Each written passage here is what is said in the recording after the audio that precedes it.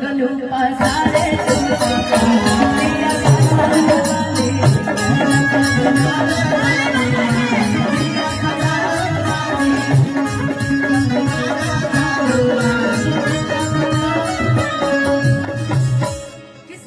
पारे से कोई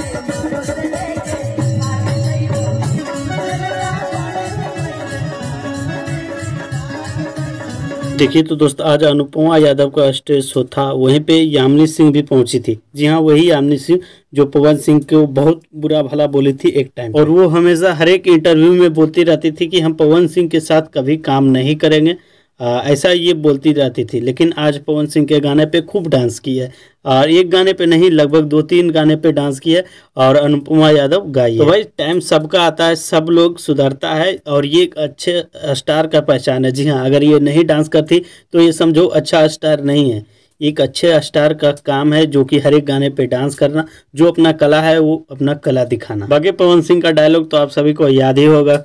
कि जो लोग कल्पना भी नहीं किया है, उसको भी नचाऊँगा। खैर, यही छोटा सा वीडियो था। बाकी आप लोग क्या सोचते हैं इस वीडियो के बारे में, इस वीडियो के नीचे कमेंट करके बता दीजिए। मिलते हैं नेक्स्ट वीडियो में। तब तक लिए बाबा take care all the best.